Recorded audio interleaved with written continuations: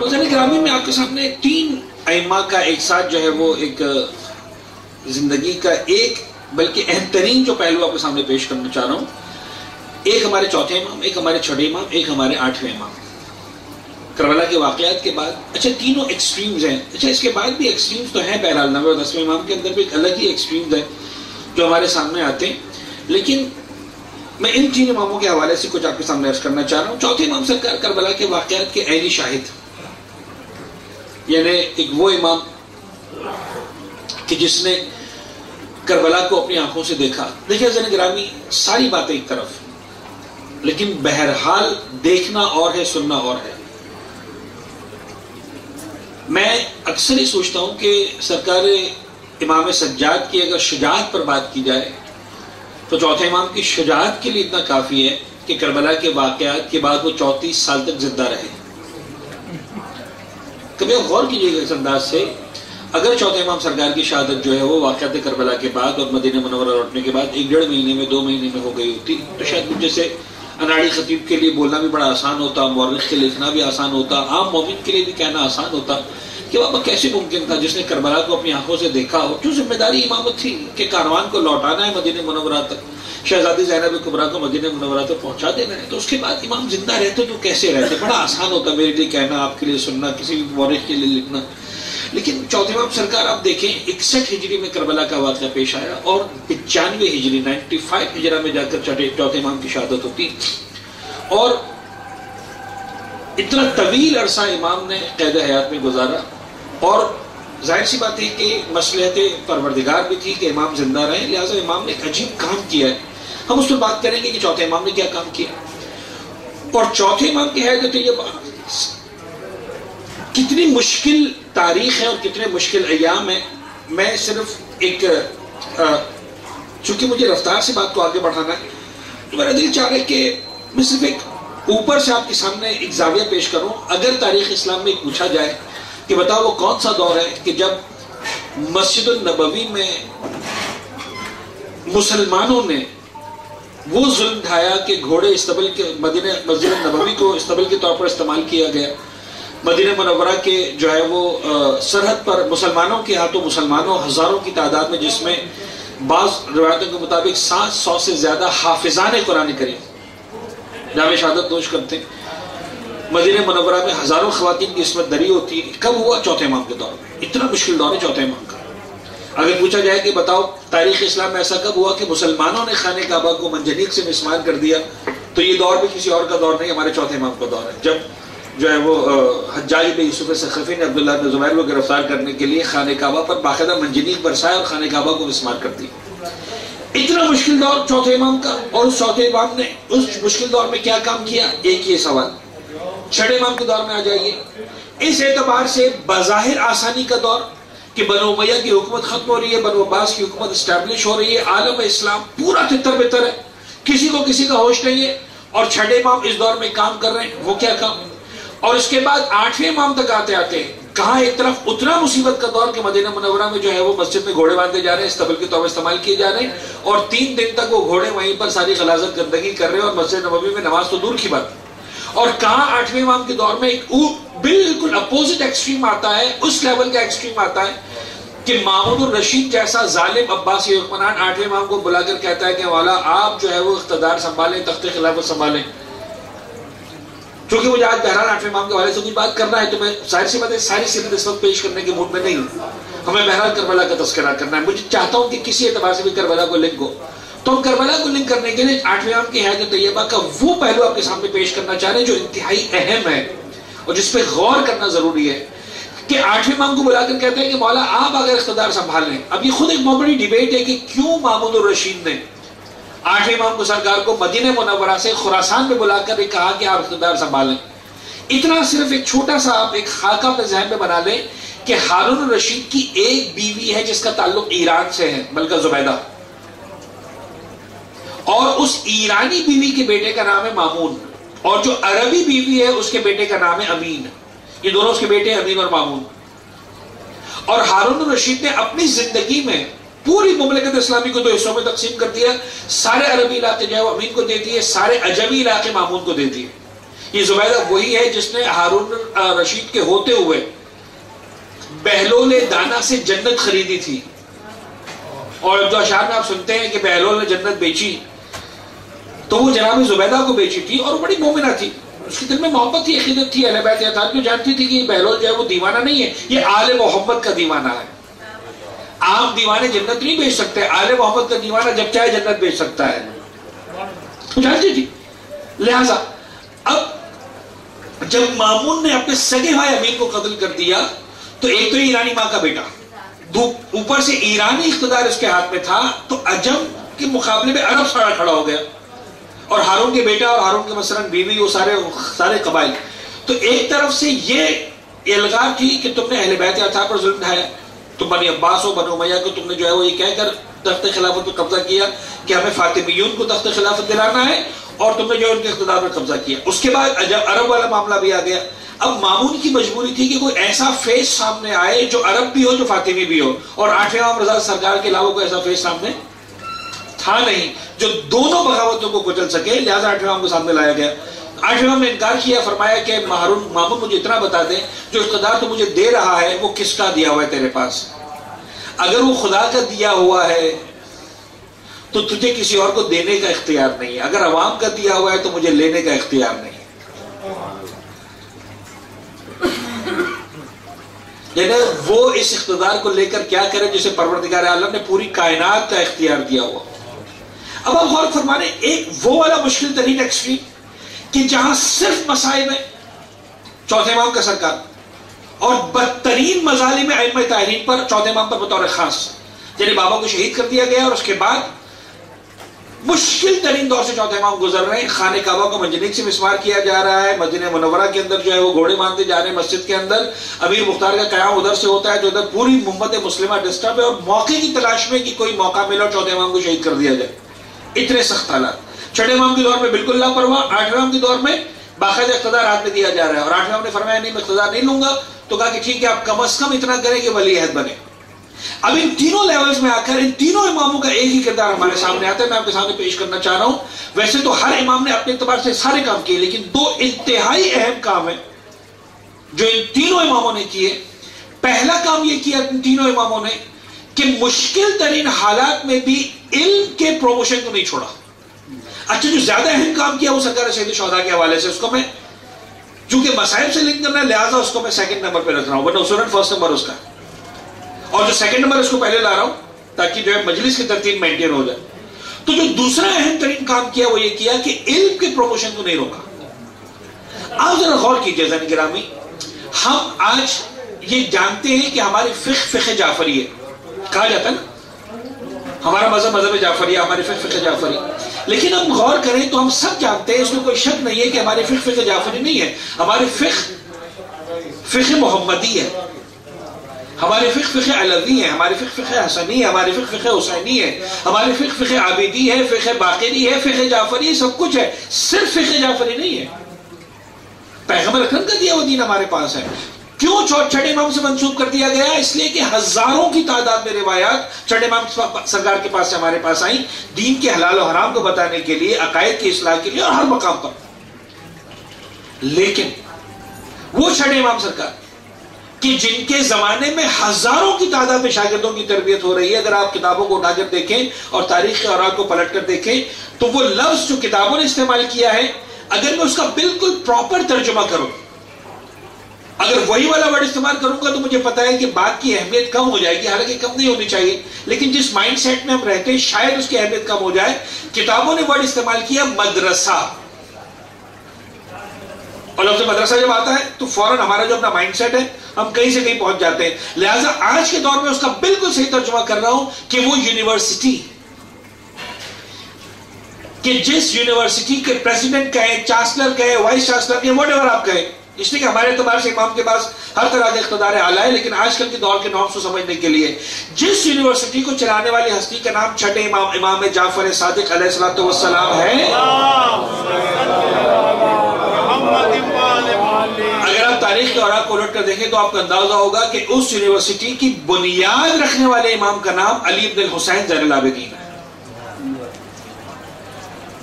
ان مشکل ترین حالات چوتھے امام نے بنیاد رکھی۔ اور صرف حلال و حرام کا علم ہے۔ چوتھے امام سرکار نے ہر علم پہنچایا۔ اچھا چوتھے امام کا جو مجموعہ ہمارے سامنے آیا وہ سیف سجادے کی صورت میں سامنے آیا۔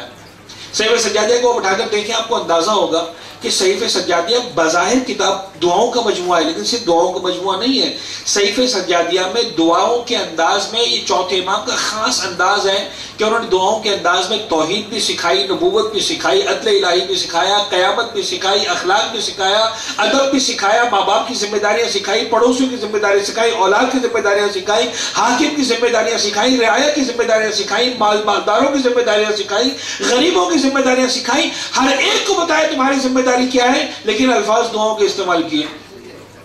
مثال کے طور پر کبھی کہا، پالنے والے ماں باپ کو اپنے اولاد کی صحیح تربیت کرنے کی توفیق عنایت فرما۔ بتا دے، تمہاری ذمہ داری یہ ہے۔ غریبوں کو اپنے مال پر مغرور ہونے سے بچا۔ غریب، غریبوں کو مالداروں کو اپنے مال پر غریب ہونے سے بچا۔ غریبوں کو توکل کی توفیق عنایت فرما۔ یہ سارے کے سارے الفاظ اگر آپ غور کریں گے، جو امام جس انداز سے دعائیں مانگ رہے ہیں، یہ سارے میسیجز دے رہے ہیں کہ تمہیں کس انداز سے زندگی گزارنی ہے۔ توحید کو ڈسکس کیا امام نے، نبوت کو ڈسکس کیا ہے۔ چھٹے امام سرکار کے پاس آتے دنیا بھری ہوئی ہے، دنیا جانتی ہے کہ صرف حلال و حرام کا علم ہی سکھایا چھوٹے امام نے، ہر طرح کے علم پر امام نے ڈسکس کیا۔ اور پھر آ جائیے آٹھویں امام سرکار کے پاس۔ آپ آٹھویں امام کے حیدت طیبہ کو دیکھیں، جب میرے مولا خراسان پہنچے، تو اس کے بعد بڑے سے بڑے سائنٹسٹ فلاسفرز ڈاکٹرز لائرز آتے رہے امام کے دربار میں۔ امام کی خدمت میں مامون کے دربار میں، اور امام ان کے ساتھ ڈسکس کرتے رہے، اور جن گتھیوں کو بڑے بڑے علماء نہیں سلجھا پائے تھے، سلجھایا۔ یعنی ان تینوں امام نے اپنے اپنے دور میں جو بالکل مختلف حالات ایک ہی پیغام دیا کہ دیکھو، اگر ہمارے ماننے والے ہو، علم کے پروموشن میں کہیں پر بھی مسٹیک مت کرنا۔ تمہاری فتح کا دار و مدار تمہارے صاحب علم ہونے پر ہے۔ مجھے نہیں پتا یہ میسج میں آج مناسب مجلس میں مناسب تھا، نہیں تھا، دینا چاہیے تھا۔ میں سمجھتا ہوں ذمہ داری ہے گرامی آج ہم کو زمانے کے امام کی ظہور کے لیے راہیں ہموار کرنی ہے کیا کرنا ہے راہیں ہموار کرنے کے لیے؟ خدا کی قسم، امام زمانہ کے ظہور کی راہیں ہموار کرنے کے لیے سب سے امپورٹنٹ طریقہ یہ ہے کہ پوری دنیا میں دنیا کو چلانے کے لیے بڑی سے بڑی پوسٹ اگر کریٹ ہوتی ہے، اہل بیت اتھار کے ماننے کے علاوہ، ماننے والے کے علاوہ کوئی اس پوسٹ کے لیے کوالیفائی نہیں کرنا چاہیے۔ آپ چاہے آئی ایم ایف کی بات کریں آئی ایم ایف کے پریزیڈنٹ کی بات تو نہیں مثال کے طور پر کوئی نہ کوئی تو ہے نا پریزیڈنٹ کوئی اہل بیت اتھار کے ماننے کے والے کے علاوہ کوالیفائی نہ کرتا ہو اس کے لیے۔ ورلڈ بینک کی ہم بات کرتے ہیں نا، نہیں ہونا چاہیے کوئی فرق جو ورلڈ بینک کے پریزیڈنٹ کے لیے کوالیفائی کرے، سوائے اس کے کہ اہل بیت اتھار کا ماننے والا ہو۔ یہ میں اور آپ آج پلان کریں گے تو بیس سال بعد کر پائیں گے۔ میں نہیں کر رہا دن میں کر ڈالیں اگر واقع نعرے لگانے سے ہوتا ہے، میں منع نہیں کرتا، بعض اوقات فرسٹ ایڈ ضروری ہوتا۔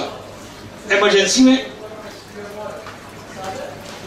جو آپ مثال کے طور پر جو ہے وہ مداوع کرتے ہیں وہ ضروری ہوتا ہے، اس سے انکار نہیں ہے۔ دھرنا بعض اوقات ضروری ہے، بعض اوقات نعرہ ضروری ہے، بعض اوقات پیمفلیٹ ضروری ہے، سب کچھ۔ لیکن لانگ ٹرم اگر پلان کرنا ہے ہم کو، واقعا امام کی ظہور کی رائے ہموار کرنی ہے۔ یاد رکھیے گا زن گرامی وہ نعروں سے نہیں ہونے والا۔ کبھی بھی نہیں ہوا، نہ ہوا ہے، نہ ہو سکا ہے، نہ ہونے والا ہے۔ اگر ہمیں لانگ ٹرم کام کرنا ہے۔ We need to promote the education amongst shares اور یہ میرے آپ کی ذمہ داری ہے۔ ہم سب سے پہلے یہ ذمہ داری لیں کہ ہمیں خود اس مقام تک پہنچنا ہے۔ اور اگر کسی وجہ سے ہم نہیں پہنچ پا رہے کسی ایک بچے کا ہاتھ اپنے تھامنا ہے، خدا نے ہمیں نوازا ہے، پروردگار نے ہمیں دولت دی ہے، اور ہمیں سوچ دیے ایک بچے کو لے اس مقام پر پہنچائے کہ پھر اس بچے کو کوئی بیٹ نہ کر سکے، اور اس بچے کی ایجوکیشن اس لیے نہ روکے کہ اس کے پاس پیسہ نہیں تھا۔ ضروری نہیں کہ مجھے آگے بتائیں کہ مولانا ہم نے فلاں بچے کا ہاتھ تھاما ہوا ہے، لیکن آپ کی ذمہ داری ہے۔ آپ دو بچوں کا ہاتھ تھام سکتے دو بچوں کا ہاتھ تھامے، تین کا ہاتھ تھام سکتے، تین کا ہاتھ تھامے۔ اس وقت اگر ضرورت ہے، یہودیت نے تباہی کے آخری دہانے پر پہنچنے کے بعد جس بنیاد پر دوبارہ ساری کائنات پر اقتدار حاصل کیا اسے وہ صرف علم۔ محنت کرنا پڑتی ہے اس کے نظام نگرانی۔ سرمایہ لگانا پڑتا ہے۔ ایک بات، بس میں نے گفتگو کو مکمل کیا اور دوسری بات اس علم کے بعد ڈر سب سے بڑا یہ لگتا ہے کہ جب علم آنے لگتا ہے، ظاہری اعتبار سے تو انسان اہل سے دور ہوتا جاتا ہے۔ چوتھے امام نے بھی یہی کام کیا، چھٹے امام نے بھی یہی کام کیا، آٹھویں امام سرکار نے بھی یہی کام کیا کہ پوری امت تشیع کو، امت مومنہ کو کربلا کے ساتھ جوڑ کے رکھا۔ اور اس انداز سے جوڑ کے رکھا کہ جس انداز سے جوڑنے کو آج کا انٹلیکچول شیعہ بعض اوقات بڑی آسانی سے ریجیکٹ کر رہا ہے۔ میں بہت ہی حساس مرحلے پر آ کے بات کر رہا ہوں، میری بات کو سمجھنے کی کوشش کیجیے گا۔ اس انداز سے جوڑے رکھا کہ جس انداز کو آج اہل بیت کا ماننے والا، جو انٹلیکچوئل ماننے والا ہے، جو ڈگری ہولڈر ماننے والا ہے، وہ کہتا صاحب، رسمی ازاداری کیا ہوتی ہے؟ ہم رسمی ازاداری نہیں کریں گے۔ کوئی فائدہ نہیں۔ ازاداری وہ کرو جس کا کوئی فائدہ ہو۔ اہل بیت اتھار نے اس ازاداری سے جوڑ کے رکھا جو خالصتاً رسمی ازاداری تھی۔ خالصتاً رسمی ازاداری۔ کسی ایک جگہ مجھے ایک روایت بتا دیجیے جہاں چوتھے امام سرکار نے ذاکر کو بٹھایا ہو اور کہا کہ ایک مسائب پڑھنے سے پہلے ذرا میرے بابا کا مقصد بیان کرنا کہ میرے بابا نے جان کیوں تھی کوئی ایک مجلس بتا دیجیے مجھے کوئی ایک کسی روایت ایسی بتا دیجیے کہ چھٹے امام سرکار کے پاس کوئی آیا اور اس امام نے کہا کہ تو مجلس پڑھ۔ تو مسائب پڑھ میرے بابا کے، لیکن ذرا بتانا کہ میرے بابا نے جان کس لیے دی۔ رسمی حضرت ہے عشق صاحب چھٹے امام کی خدمت میں۔ روایت موجود ہے بہار کے اندر موجود ہے اور بہت ساری اہم کتابوں کے اندر موجود ہے۔ امام نے فرمایا، میں نے سنا ہے کہ اشعار پڑھتا ہے اپنے محلے میں، لوگوں کو میرے بابا کی جد کے مسائب سناتے ہیں کہنے مولا ہاں۔ امام نے فرمایا، ذرا مسائب پڑھ میرے سامنے۔ اب امام سامنے بیٹھے ہوئے تھے، تو اس نے جو عربی کے اشعار پڑھا تھا، وہ جو مرسی ہے، جو بھی نوحا تھا، اس نے بڑے ادب سے امام کے سامنے پڑھنا شروع کیا۔ امام نے فرمایا، ایسے مت پڑھا۔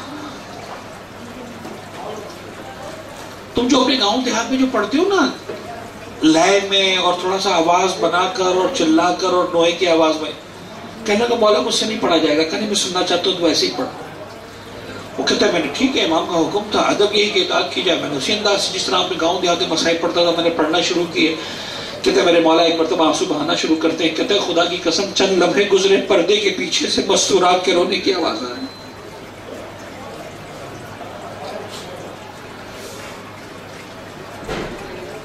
اہل بیت اطہار انہیں مدینہ والوں کے آپ جا کے تاریخ کو دیکھیں۔ عجیب جملے نظر آتے ہیں۔ مدینہ والے کہتے ہیں، گیارہ مہینے کا چاند دیکھتے تھے۔ محرم کے مہینے کا چاند دیکھنے کی ضرورت نہیں پڑتی تھی۔ کیوں ضرورت نہیں پڑتی تھی؟ اس لیے کہ جب محرم کا چاند نظر آتا تھا تو امام صادق کے گھرانے سے رونے کی اتنی آواز بلند ہوتی تھی، امام کی گریے کی آواز سے ہمیں پتہ چل جاتا تھا، محرم کا چاند نظر آ گیا۔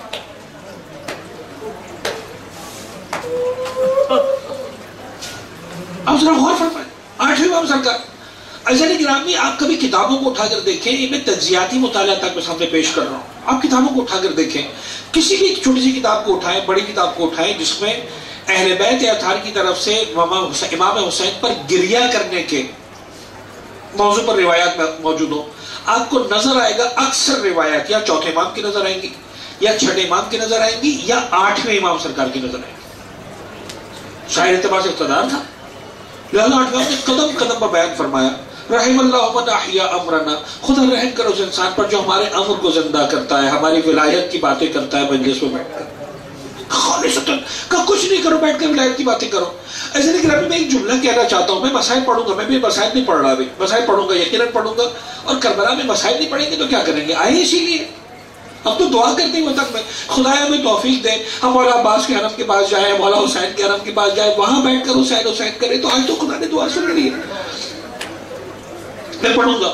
لیکن ایسا گرامی آپ غور کیجیے چوتھے امام سرکار نے رسمی ازاداری کو زندہ کیا۔ ایسا گرامی یاد رکھیے گا، جب رسم بنتی ہے تو زندہ رہ جاتی ہے۔ میرا دل چاہتا ہے، میں نے ایک اور بھی کہا تھا، آپ کے سامنے درج کر رہا ہوں کہ خدا را وہ افراد یعنی وہ اسٹوڈنٹس جو اس وقت یونیورسٹی اسٹوڈنٹس ہیں، اس وقت میں کیریئر کاؤنسلنگ نہیں کر رہا ہوں۔ نہ کیریئر گائیڈنس کے لیے میں یہاں پر بیٹھا ہوں، لیکن مجلس اعضاء کی ذمہ داری سمجھ کر ایک جملہ ضرور کہہ رہا ہوں۔ اور میں نے اب تک کسی کو نہیں دیکھا کہ اس فیلڈ میں کام کرے۔ وہ افراد جو سوشولوجی پڑھتے ہیں، جو سوشل سائنسز کو پڑھتے ہیں، خدا را سوشولوجی کے اندر اس ٹاپک پہ کوئی ریسرچ کرے اور ڈاکٹریٹ کی ڈگری لے کہ جب کسی بھی ایونٹ کو رسم کے ساتھ بنا دیا جاتا ہے تو وہ ایونٹ زندہ ہو جاتا ہے۔ پھر اس کے پیچھے کوشچن مارکس ختم ہو جاتے ہیں۔ اور آپ دیکھیں دنیا کے اندر جو جھوٹے ایونٹس ہیں۔ میں بہت ذمہ داری کے ساتھ جملہ عرض کر رہا ہوں۔ اور صرف اور صرف کچھ دیر کے لیے، عوام الناس سیٹ کر انٹلیکچوئلس کے لیے میں کچھ جو ہے وہ فوڈ فور تھاٹ دے رہا ہوں۔ دو چار جملے میرے برداشت کر لیجیے گا پلیز درگزر کیجیے گا، میں سائڈ پہ آ جاؤں گا۔ جہاں جھوٹے ایونٹس ہیں، کوئی اس کے پیچھے بیک گراؤنڈ نہیں ہے۔ کوئی سچائی نہیں ہے۔ لیکن اس کو بھی اگر رسم سے ملا دیا جاتا ہے، تو کوشچن مارکس ختم ہو جاتے ہیں۔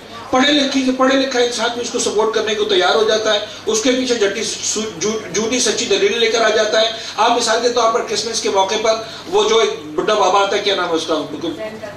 سینٹا کلاس سینٹا کلاس پوری کرسچن ورلڈ جانتا ہے کہ there is nothing like Santa Claus in the world لیکن وائٹ ہاؤس کے اندر بھی آپ کو سینٹا کلاس کا تصور نظر آئے گا۔ غریب سے غریب کرسچن کے گھر بھی سینٹا کلاس کا تصور نظر آئے گا؟ مالدار سے مالدار کے گھر پر بھی، پڑھے لکھے سے پڑھے لکھے انسان کے گھر پر بھی جائز سے جائز کے گھر پر بھی۔ پڑھے لکھے سے بھی کہو کہ یار یہ تم کیا کر رہے ہو؟ تمہیں پتہ ہے ایسا کچھ نہیں؟ کہا ہم کہتے ہیں ہمیں پتہ ہے کچھ نہیں ہے۔ لیکن ہمارے بچے کے دل میں محبت پیدا ہو رہی ہے تو کیا رات میں جب بچہ آخر میں تھک کے سو جائے گا۔ جب تک وہ نہیں سوتا، انتظار کرتے جب وہ سو جاتا ہے، پھر اس کے تکیے کے پاس کوئی گفٹ رکھ دیتے ہیں۔ بیٹا، تم جاگتے رہے، لیکن آخر میں تمہاری آنکھ لگ گئی سینٹا کلاس اسی وقت آ کے تمہارا گفٹ رکھے گیا۔ جھوٹ! سو فیصد جھوٹ! ہے کہ نہیں ہے؟ مجھے ایمانداری سے بتائیے۔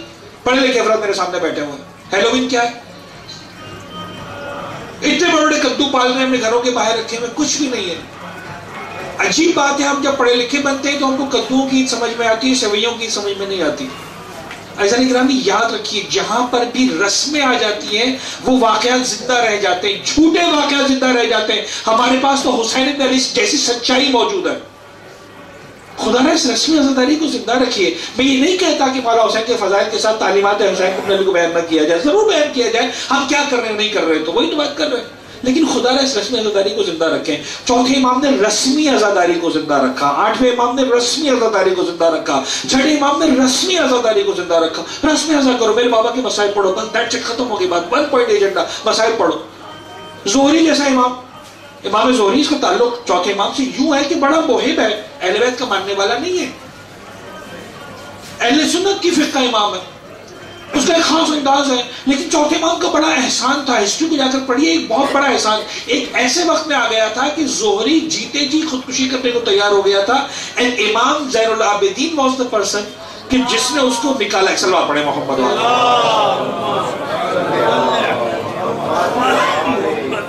اور اس کے بعد سے عاشق تھا چوتھے امام کا۔ عجیب عشرت تھا چوتھے امام سے۔ گھر میں شادی تھی چوتھے امام سرکار کی خدمت میں آیا۔ آگے کہتے ہیں، مولا میرے گھر میں میرے بیٹی کی شادی میرا دل چاہتا ہے تشریف لائیں۔ امام نے کہا زہری تم کیسی بات کرتے ہو؟ میں کربلا کو دیکھ کر آیا ہوں۔ جس نے کربلا دیکھی ہو کسی جوان کی شادی میں کیسے شرکت کرے ختم ہو گئی بات۔ یعنی شاید میرے مولا چوتھے امام فرمانا چاہتے ہو زہری، جس نے اکبر کے کلیجے میں برچی کا پل دیکھا۔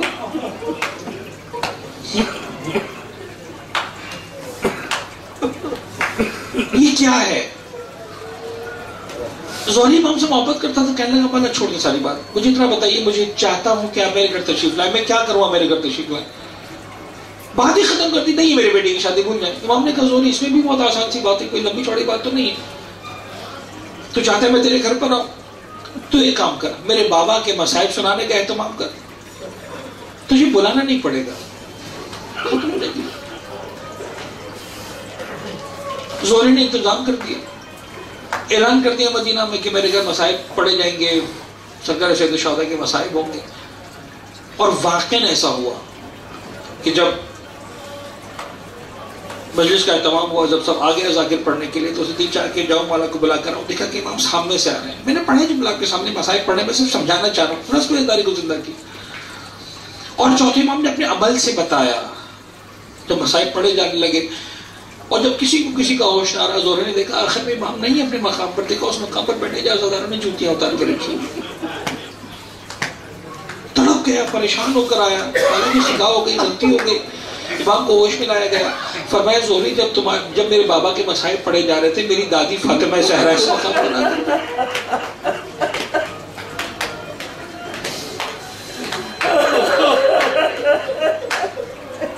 میں نے علماء سے سنا ہے میری دادی اپنے بالوں کو کھول کر زیر سما تمہیں دعا دے رہی تھی، تم میرے اجڑے گھر کا ماتم کرتے ہو، خدا تمہارے گھروں کو آباد